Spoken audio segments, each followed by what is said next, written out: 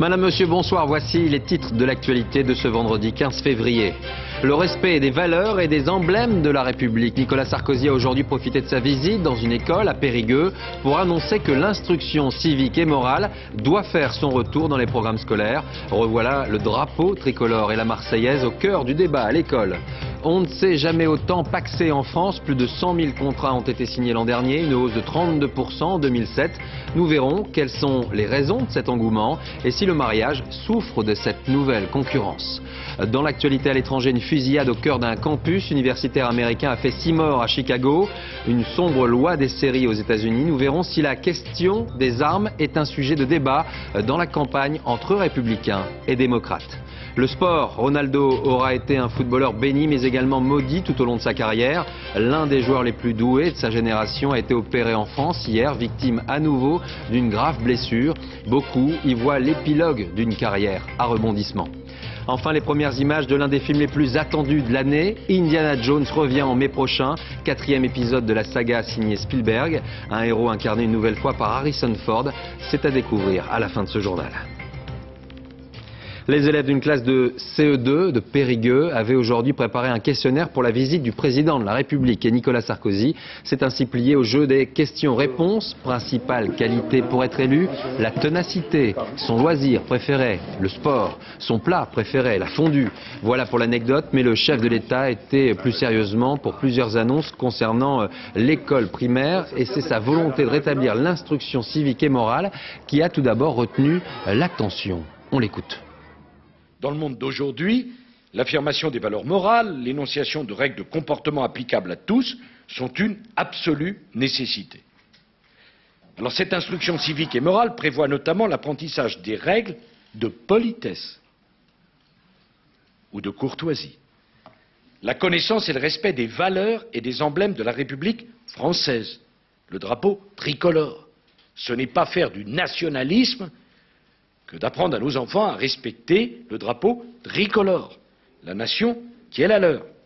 Marianne, l'hymne national, à l'écoute duquel nos enfants devront se lever. L'apprentissage du respect des valeurs et des emblèmes de la République, le drapeau, l'hymne national, voilà des thèmes que l'on avait entendus lors de la campagne présidentielle et qui réapparaissent concrètement aujourd'hui. Voyons les premières réactions du côté des enseignants et des élèves avec le reportage à Paris de Nabila Tabouri et Alexis Oran. Prenez une salle de classe, mettez-y un échantillon d'élèves de CM1 et de CM2. Est-ce que vous pouvez me dire ce que représente pour vous ce symbole? Faites-leur un quiz sur les emblèmes de la République et ça donne quoi La France, le drapeau de la France. Le blanc, c'est le, c'est la couleur du roi. Et le bleu et le rouge, c'est la couleur de Paris.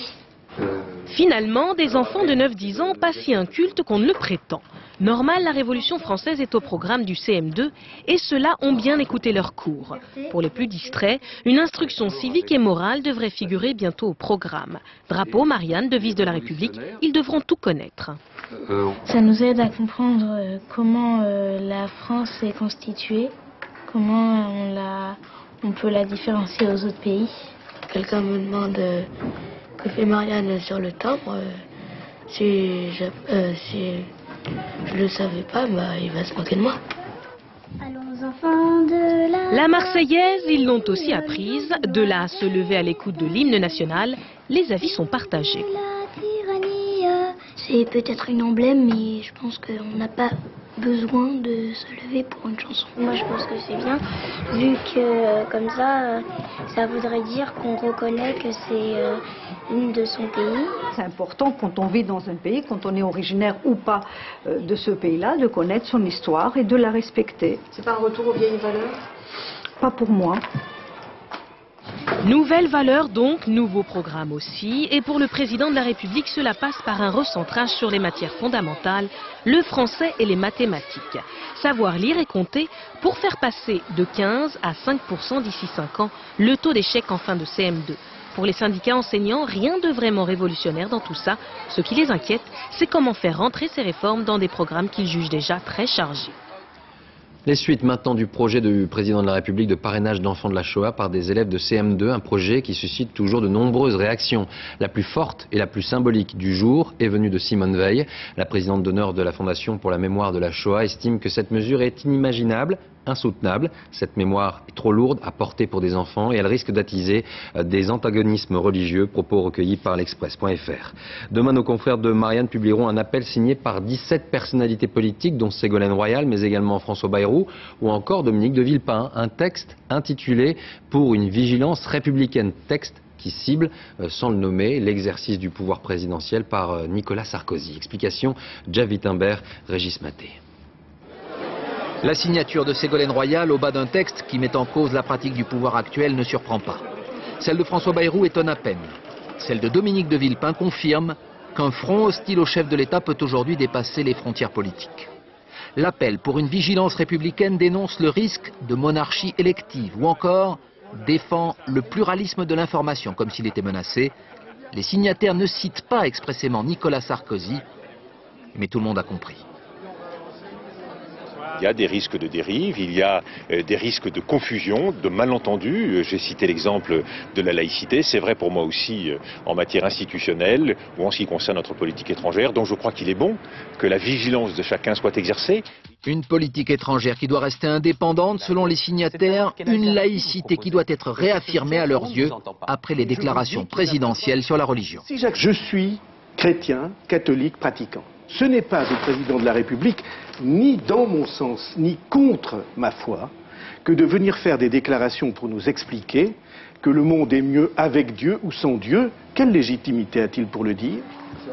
La légitimité pour répondre à cette charge, François Fillon la revendique. En campagne de soutien pour les municipales, lui qui savoure les bons sondages, il défend Nicolas Sarkozy.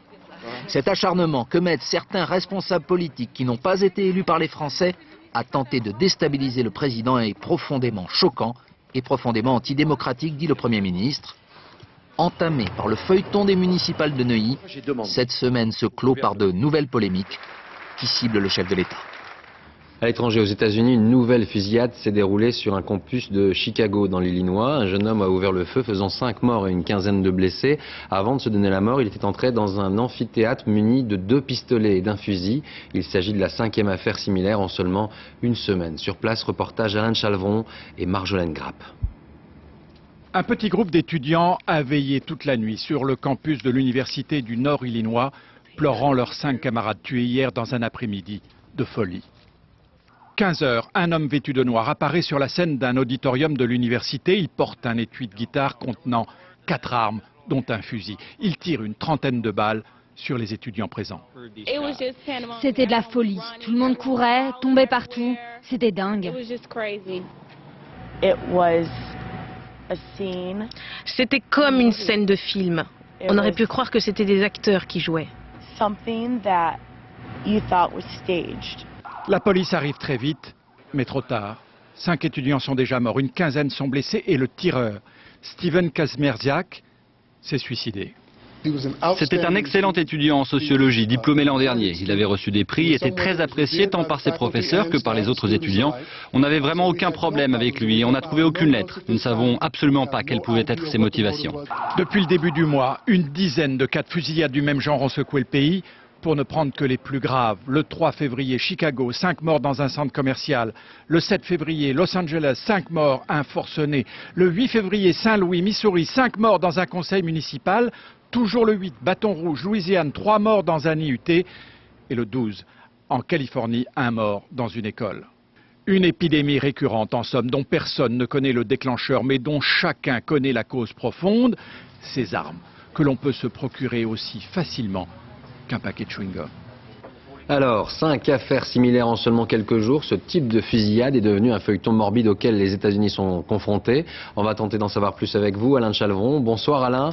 On a l'impression que depuis euh, ces affaires Columbine, Virginia Tech l'an dernier, l'Amérique n'a toujours pas tiré les leçons de ces drames. Oui, écoutez, par rapport à l'an dernier, eh bien, on a amélioré le système d'alerte qui n'avait pas du tout fonctionné à Virginia Tech, qui avait permis là-bas aux tueurs, de tirer deux fois, à deux reprises, donc à une heure d'intervalle. Eh bien, là, ça a très bien marché.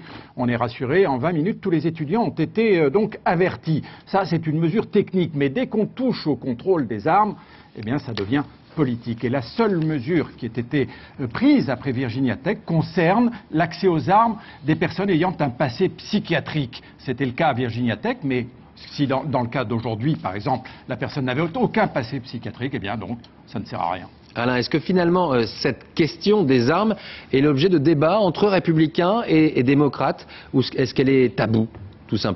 Oh, écoutez, euh, on en a un petit peu parlé au début entre républicains. On a titillé Rudy Giuliani euh, sur cette question dans un sens critique parce que la ville euh, de New York a un système de contrôle assez drastique d'ailleurs concernant les armes. Depuis, on n'en parle plus, ou plutôt les républicains expriment haut et fort leur amour pour les armes, tandis que les démocrates, eux, se taisent soigneusement car ils savent que ça peut se payer fort cher politiquement. Merci Alain Chalvron. Le chef du Hezbollah libanais Hassan Nasrallah a déclaré hier une guerre ouverte à Israël, et cela alors que euh, se déroulaient les obsèques de l'un des fondateurs de la branche armée du mouvement islamiste, assassiné cette semaine à Damas en Syrie. Israël nie toujours être à l'origine de cet assassinat, mais les autorités du pays prennent très au sérieux euh, ces dernières menaces. Sur place, Charles Anderlin et Mossi Harmon. Les titres de la presse israélienne ce matin ont de quoi inquiéter. Traduction, Nasrallah menace, promet la guerre partout. Le terrorisme suivra les Israéliens à l'étranger. Et les chaînes de télévision dénuméraient parfois sur un ton grinçant les conseils de l'état-major antiterrorisme. Si vous êtes israélien, vous êtes en danger partout dans le monde. À l'étranger, ne vous déplacez pas en groupe, ne parlez pas l'hébreu dans la rue, Rejetez toute proposition attrayante venant d'un inconnu. En toute occasion, soyez vigilants. En Israël même, l'armée a déployé des unités supplémentaires à la frontière avec le Liban. Le temps de mise en alerte des avions de chasse et des hélicoptères de combat a été réduit, alors que la marine a renforcé ses patrouilles en Méditerranée. Dans ces conditions, de nombreux Israéliens se demandent si Israël va payer le prix de l'assassinat d'Imad Mornier, le responsable du Hezbollah le plus recherché par la communauté internationale. J'espère que cela ne va pas mener à une détérioration de la situation. En Israël, nous savons qu'une telle opération a un prix, mais j'espère que cela ne sera pas le cas. Ma fille est en vacances à l'étranger et je suis inquiet. À Tel Aviv, les responsables militaires affirment qu'ils sont prêts à toute éventualité. Le Kosovo s'apprête à déclarer son indépendance ce week-end et de nombreux Albanais de la diaspora euh, sont aujourd'hui rentrés à Pristina afin de participer à cette célébration. Le Premier ministre a aujourd'hui refusé d'avancer une date pour la proclamation de l'indépendance, mais beaucoup parlent de dimanche. La Serbie et la Russie ont fait savoir aujourd'hui encore qu'ils ne reconnaîtraient pas le Kosovo comme une nation indépendante. Dans l'actualité en France, à Nice, un homme de 63 ans, propriétaire d'un immeuble, a été condamné par le tribunal correctionnel à 15 mois de prison ferme et près de 300 000 euros d'amende. Et cela alors qu'il était poursuivi pour avoir loué euh, des logements insalubres dans des conditions incompatibles avec la dignité humaine. Sur place, Olivier Théron et Olivier Prédhomme. Michel Délé est ressorti libre du tribunal correctionnel de Nice. Libre, mais sonné. Il est condamné à 30 mois de prison, dont 15 mois fermes, pour conditions d'hébergement contraires à la dignité humaine. Le tribunal a rendu sa décision. C'est sûr que le parquet demandait 18 mois fermes. Mon client a une peine mixte. J'aurais préféré qu'il obtienne un ajournement pour pouvoir faire les travaux. Maintenant, on va y réfléchir à un éventuel appel. Dans son immeuble délabré du centre de Nice, Michel Délé logeait une trentaine de personnes dans des appartements de moins de 9 mètres carrés et pour certains particulièrement insalubre. C'est dégueulasse. Même pas les, bêtes, ils pourraient rester vivre là-dedans. Une exploitation de la misère et de l'aide au logement qui lui rapportait plus de 10 000 euros par mois et lui permettait de posséder une villa estimée à plus de 2 millions d'euros. À l'audience, la semaine dernière, le procureur a évoqué le procès de l'indécence et de la cupidité à l'annonce du jugement, les anciens locataires de Michel Délé sont satisfaits. C'est normal qu'il aille en prison Ah oui, oui, c'est normal. C'est pareil que qu'on met des gens dans une cage à poules, comme on dit. Au moins là-bas, il y aura peut-être, là-bas, il y aura, c'est 9 mètres carrés. Les plaignants recevront un peu plus de 10 000 euros de dommages et intérêts. Mais aux 3 bis rue Pertinax, à part deux familles qui ont été relogées, les autres sont toujours là, comme cette femme et sa petite fille, dans la solitude et le dénuement. Seule, oui. Seule, je suis seule, oui. Il n'y a vraiment personne, vraiment personne pour, euh, pour aider l'un et l'autre. Au contraire, on se bouffe tous ici. S'il ne fait pas appel, Michel Délé devra purger 15 mois de prison ferme dans une cellule de 9 mètres carrés.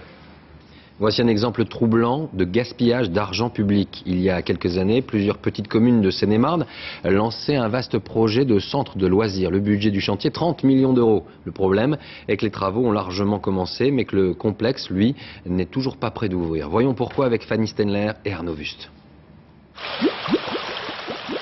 Dorures, palmiers, ces images ne sont pas tournées à Dubaï, mais à quelques kilomètres des pistes de l'aéroport de Roissy. Un complexe construit au milieu des champs où tout est prévu. Toboggan avec escalier chauffé, piscine à vagues. Hélas, aujourd'hui, les palmiers prennent la poussière et les algues poussent au fond de la piscine. Tant que ça tourne pas, c'est du gâchis. Une fois que ça sera en route, ça, sera, ça rentabilisera sûrement. Mais bon, là, Déjà 30 millions d'euros investis et des travaux qui ont 27 mois de retard. Dans la patinoire encore en friche, les accusations fusent. Je crois qu'à certains moments, il y a eu une incompétence, je crois qu'il faut le dire, de, la responsabilité euh, du président de la communauté de communes qui n'a pas pris les bonnes décisions et qui n'a pas forcément signé les bons documents au bon moment. Cet homme, c'est Jean Hureau, maire de Mauregard. Pour lui, ses critiques sont liées aux prochaines élections municipales. Il assure ne pas être dépassé par l'ampleur de son projet. Euh, aujourd'hui, je suis embêté. C'est différent que dépassé parce que moi, aujourd'hui, j'ai une maîtrise d'œuvre, j'ai un assistant maîtrise d'ouvrage. Tous ces gens-là qui sont là depuis le début auraient dû commencer à faire leur travail, le continuer parfaitement. Et aujourd'hui, on ne serait peut-être pas dans cet état. Avec 22 millions de budget annuel, cette communauté de 8 communes est une des plus riches de France grâce à la taxe professionnelle de l'aéroport de Roissy. Ces villes ont de l'argent, peut-être un peu trop, dans les mains d'élus pas toujours avisés, et les chambres régionales des comptes n'y peuvent pas grand-chose. Euh, on ne peut, en ce qui concerne les chambres régionales des comptes, qu'en faire le bilan une fois que les choses sont faites ou en train de, se faire, mais on ne peut pas euh, exercer un contrôle euh, avant même qu'un qu projet soit lancé. Le complexe est aujourd'hui à la recherche d'un gestionnaire. Dans le meilleur des cas, il ouvrira l'an prochain. L'actualité sociale avec tout d'abord la grève qui se poursuit dans le plus grand magasin Carrefour de Marseille. C'est le 15e jour de conflit, un mouvement euh, qui avait commencé lors de la journée d'action nationale dans la grande distribution le 1er février. Au cœur des discussions, les conditions de travail et de rémunération. Yacine Benjanet, Benoît Jourdan. Une première livraison sous haute protection. Suite à un jugement du tribunal de grande instance de Marseille, le préfet envoie 20 policiers pour permettre l'approvisionnement de cet hypermarché. Depuis 15 jours, des grévistes bloquaient l'accès des camions. À l'intérieur, c'est la pénurie. Pas facile de trouver des produits frais.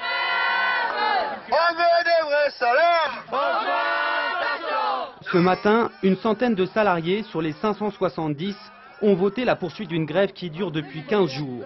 Au centre du conflit, la faiblesse des rémunérations. Je suis à 35 heures. Euh, je touche 36,75 ouais, avec les pauses. Euh, je touche 950 euros. J'ai 11 ans de boîte j'arrive tout juste à 1002. Et vraiment, quand on fait les heures de nuit, sinon, il faut vraiment tirer aux heures. On demande une revalorisation du ticket restaurant à 3,05 à 5 euros. Parce que, bon, bien sûr, ça c'est comme le prix de la baguette de pain, il n'y a plus rien à 3 euros en sandwich. La direction de l'hypermarché propose 40 000 euros de subventions au comité d'entreprise, mais pas question d'augmenter les salaires. Les négociations euh, sur les salaires, ce sont des négociations paritaires qui se traitent au niveau national et à aucun moment au niveau local. D'où euh, le, le non-sens de ce mouvement localement. Ce conflit a commencé en même temps que la grève nationale des caissières, mais ici, le bras de fer s'est singulièrement durci. Social toujours, la direction du groupe Michelin a confirmé la fermeture inéluctable de son usine Kléber de Toul en Meurthe-et-Moselle. 826 postes sont concernés. La direction a cependant annoncé qu'elle entendait développer sur le même site de nouvelles activités industrielles qui pourraient, selon elle, générer de l'emploi à l'horizon 2011. Deux cadres sont toujours retenus par les ouvriers du site de Toul. Et toujours dans l'est du pays, avec les salariés de Michelin, ce sont ceux de Mico qui s'inquiètent pour leur avenir. Ils manifestaient aujourd'hui ensemble à Saint-Dizier, une ville mobilisée autour de son usine. Reportage Yves Ginca et Daniel Lévy. Ils sont écœurés, les salariés de Mico. Alors qu'un petit groupe de grévistes bloque la production de l'usine depuis un mois, la direction a décidé de ne plus verser aucun salaire, même aux non-grévistes. C'est pas normal et ils n'ont pas le droit, c'est illégal ça, on n'a jamais vu ça. Aujourd'hui, tous protestent contre un vaste plan de licenciement. 266 suppressions de postes sur 500, alors que l'usine fait des millions de bénéfices. Son propriétaire, le groupe Unilever, a décidé d'améliorer la compétitivité. Un choc pour les habitants de Saint-Dizier qui ont grandi avec l'usine Mico depuis 1951. Merci beaucoup, c'est gentil. Dé- Déjà, il faut qu'ils gardent leur, déjà leur emploi, leurs acquis et, et leur vie, quoi, parce que c'est- leur vie. Sinon, qu'est-ce qu'ils vont devenir ces gens-là? Aux côtés des salariés et de la population, le maire et les élus. C'est pas euh, les salariés contre les patrons, c'est tout un territoire, salariés, patrons, élus confondus, qui essaye de dire à Unilever que cette usine, euh, elle veut vivre. Ces dernières années, le bassin d'emploi de Saint-Dizier a été durement touché. Des milliers de licenciements. Dernière en date, l'usine de tracteurs Case. Ce commerçant et son client sont d'anciens ouvriers licenciés. Le plan social Amico les inquiète profondément. Ça fait beaucoup de familles euh, qui consomment aussi, quoi. Donc euh, je pense qu'il y aurait certainement un manque à gagner. Puis on ne sait pas après ce que ça va devenir de toute façon. On ne sait pas si ça va rester ou si ça va continuer. Pour Saint-Nizier, ça, va devenir euh, catastrophique. hein. Qu'est-ce qui va rester à Saint-Nizier? Euh, C'était les, deux plus grosses usines euh, sur Saint-Nizier. hein. Alors donc, euh, euh, on voit pas trop de, on voit pas trop d'avenir là. Aujourd'hui, salariés et syndicats de Mico demandent à être reçus par le président de la République. Une demande qui, à Saint-Dizier, n'est pas une parole en l'air. On se marie un peu moins en France et on se paxe beaucoup plus. Regardez ces chiffres et, ces flèches, elles sont inversées. Le mariage en baisse et le paxe en hausse exponentielle, plus 32% encore l'an dernier. Une augmentation due à quoi? Qui sont ces nouveaux signataires? Le point avec Florence Bouquilla et Pascal Caron. Julien, 27 ans, vit en couple depuis plusieurs années et s'est paxé il y a un an. Le Pax, pacte civil de solidarité, s'est imposé tout naturellement à ce jeune couple. Sur le plan financier, on déclare euh, nos impôts ensemble. On est, devenu un ménage aux yeux de, de l'institution euh, au niveau des impôts. Et sinon, euh, dans la vie de tous les jours, il n'y a rien qui change, honnêtement.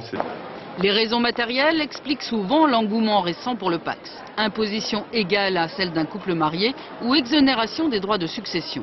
Selon une enquête lancée par le ministère de la Justice, en 2006, 77 362 Pax ont été conclus. En 2007, 102 012, soit une augmentation de 32% Si le Pax plaît, c'est aussi parce qu'il est moins solennel que le mariage, tout en témoignant d'un véritable engagement avec démarche auprès du tribunal d'instance. En 2000, un an après la création du Pax, 1 sur 4 était conclu entre partenaires du même sexe. Mais en 2006, 93% des couples paxés sont hétérosexuels. Un tiers des étudiants peinent à trouver un logement et c'est un obstacle au bon déroulement de leurs études. La ministre de l'Enseignement supérieur, Valérie Pécresse, s'est vue remettre cet après-midi un nouveau rapport sur l'amélioration justement des conditions d'hébergement. Un rapport qui euh, souligne le retard pris par la France. Une enveloppe de 620 millions d'euros euh, doit être débloquée sur 4 ans par le gouvernement. De l'argent et des mesures qui sont attendues concrètement par de nombreux étudiants. Une situation euh, d'urgence illustrée par le reportage de Mallory Aounou et Mathias Second. Quartier parisien cossu, le record du prix au mètre carré. Mais certaines façades cachent une réalité tout autre. Voici un squat organisé par l'association Macaque. On occupe euh, cet immeuble qui était vide pour la plupart des étages depuis 6 ans. Comme un tiers des étudiants, Marion a peiné à se loger.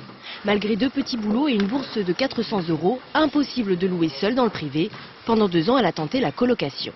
J'y ai laissé tout mon argent en fait et j'ai fait beaucoup de dettes. Donc euh, au bout d'un moment j'ai décidé de... Enfin, je me suis rendu compte que je pouvais plus continuer. À ce moment-là j'ai cherché des logements contre service. Euh, J'avais essayé aussi de, de rentrer en CTU mais dans ces deux cas-là il y en a très peu. Sur 30 squatteurs, ils sont une dizaine d'étudiants. Seule solution pour éviter la rue, mais solution instable. Avant de trouver cet immeuble, ils ont vécu deux expulsions. C'est vrai, t'as des pastilles? C'est vraiment beaucoup plus difficile de- d'envisager sereinement des études, plus euh, un travail étudiant à côté, quand on quand on sait pas si on va se faire virer euh, dans la semaine ou dans, dans les mois qui viennent. Ça, ça met vraiment très en colère contre, contre, contre un système qui ne nous laisse pas de place.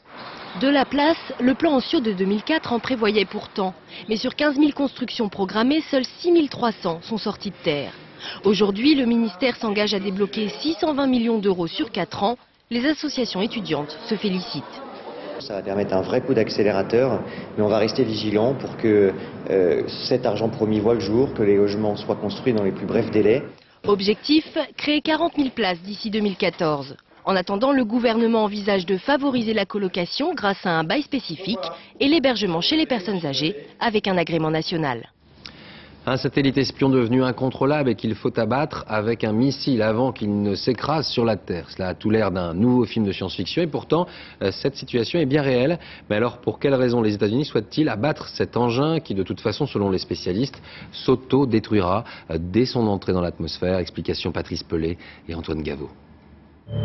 Le satellite espion USA 193 tournait tranquillement autour de la Terre, mais quatre ans plus tard, il est devenu incontrôlable. Alors aujourd'hui, le Pentagone annonce qu'il sera détruit le mois prochain par un missile balistique.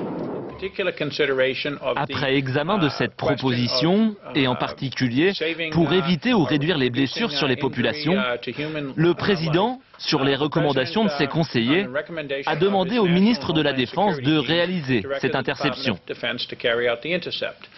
Détruire le satellite dans l'espace parce qu'il renferme de l'hydrazine, du carburant toxique, c'est l'argument avancé par le Patagone. L'hydrazine, mortelle en cas d'inhalation, est stockée dans un réservoir très résistant. L'explication qui est donnée, qui est tout à fait d'ailleurs euh, expliquée de façon transparente par les Américains, c'est de dire qu'ils ont un réservoir qui contient cette hydrazine, à peu près 500 kg d'hydrazine, que ce réservoir est réalisé en titane en fait, et que ce réservoir est à peu près le même qu'ils avaient eu sur la, sur la, la navette Columbia.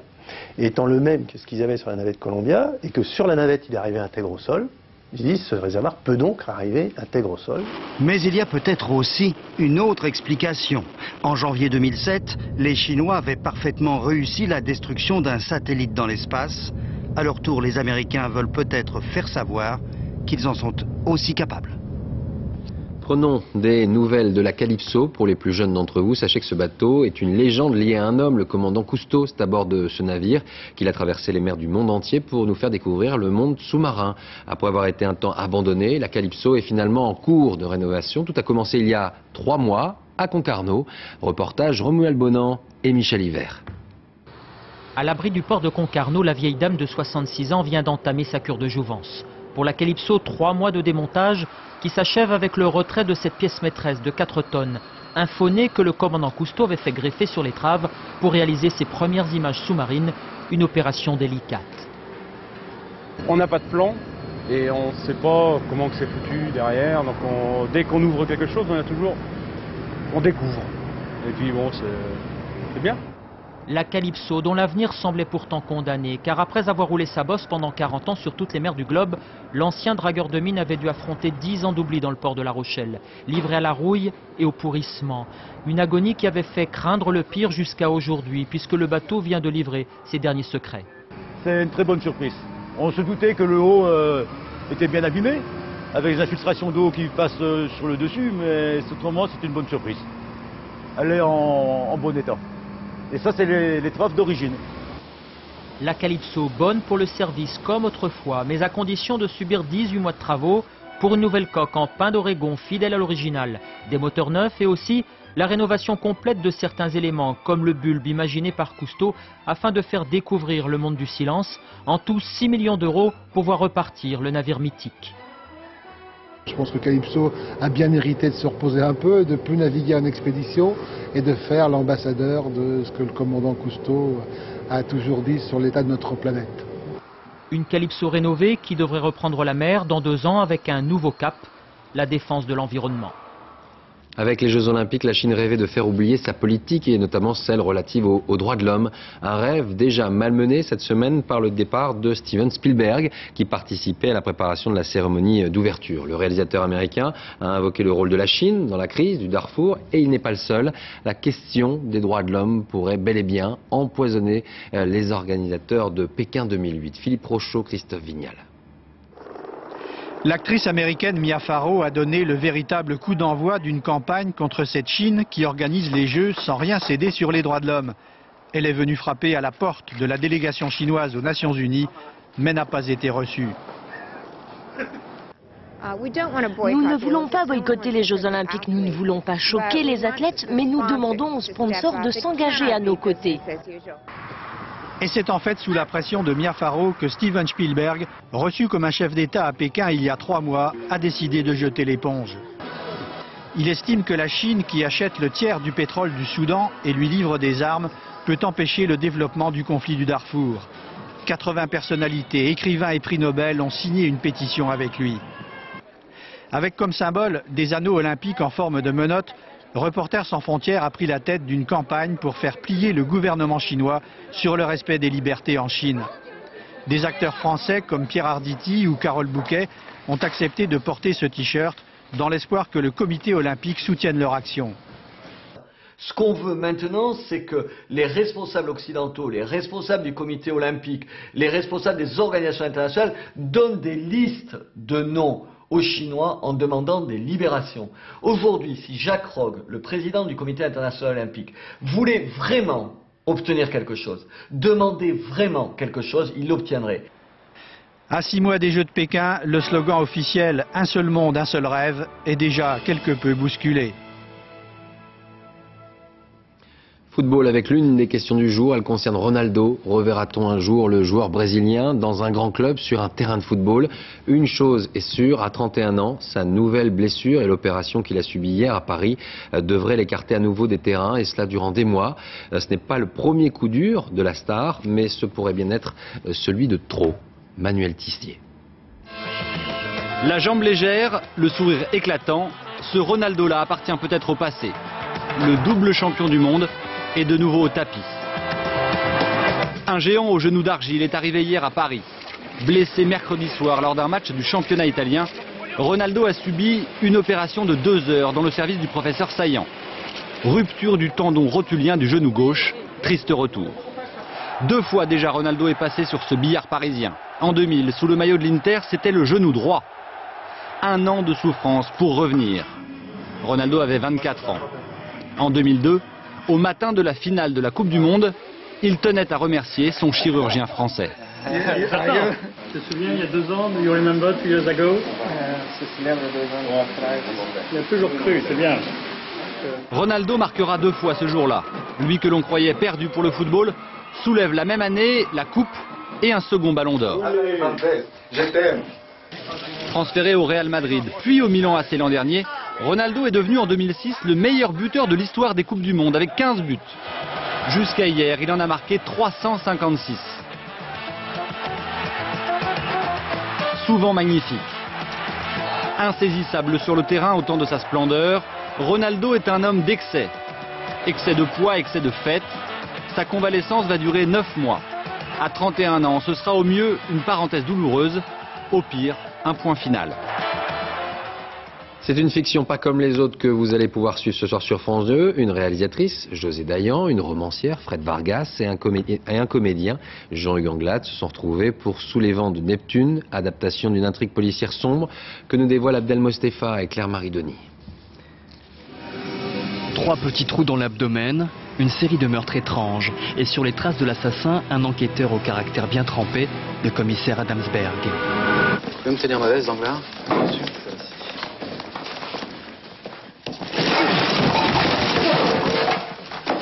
Retrait des paroles, Fabre. Excuse et repentir. J'attends. Danglars, sacoche.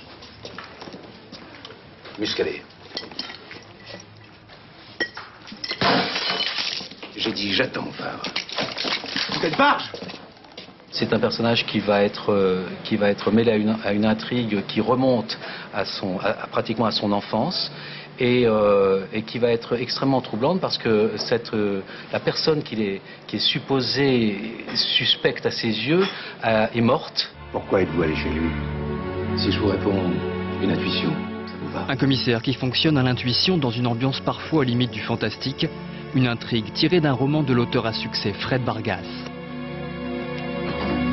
C'est un roman très réussi parce que à la fois c'est évidemment ces personnages qui en sont au centre, mais euh, il y a un élément supplémentaire, c'est-à-dire que non seulement Adamsberg, évidemment, mène l'enquête, mais à un moment donné, il se trouve lui-même dans la position d'inculpé. Un casting riche et original, un tournage en pellicule 35 mm, un téléfilm au parfum de cinéma. Du cinéma maintenant et des images en avant-première, celle d'un film qui revient après 18 ans d'absence, Indiana Jones, signé Steven Spielberg. Épisode 4 arrive dans les salles le 21 mai prochain, mais pour le plaisir et pour les fans, voici les premières images des nouvelles aventures d'Harrison Ford, jeune héros de 65 ans, toujours en pleine forme.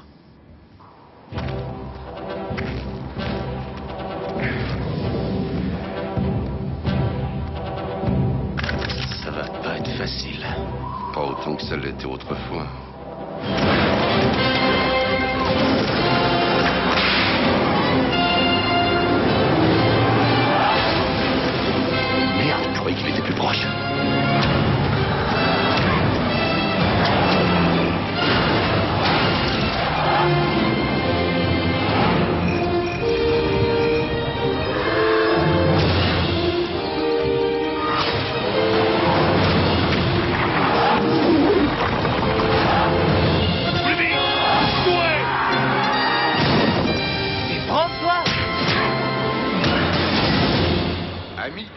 Toujours efficace. Voilà, sorti le 21 mai prochain. Avant de terminer ce journal, je vous rappelle l'une des principales informations de ce vendredi, la proposition faite par Nicolas Sarkozy à son euh, ministre de l'Éducation, Xavier Darcos, d'intégrer euh, dans les nouveaux programmes scolaires une instruction civique et morale, et notamment le respect des valeurs et des emblèmes de la République. Les élèves se lèveront-ils en chantant euh, la Marseillaise? Affaire à suivre. Voilà pour l'actualité de ce vendredi. Merci euh, d'avoir suivi ce journal. Je vous retrouve demain pour 30 minutes d'information à 13h avec dès 13h15 euh, la partie magazine de cette édition. Dans un instant, euh, la météo avec Isabelle Martinet, suivi du point route, Valérie Maurice. 20h55 donc notre téléfilm Sous les vents de Neptune avec Jean-Hugues Anglade. 22h30 musicaux, les compagnies spéciales Henri Salvador. Très belle soirée à vous.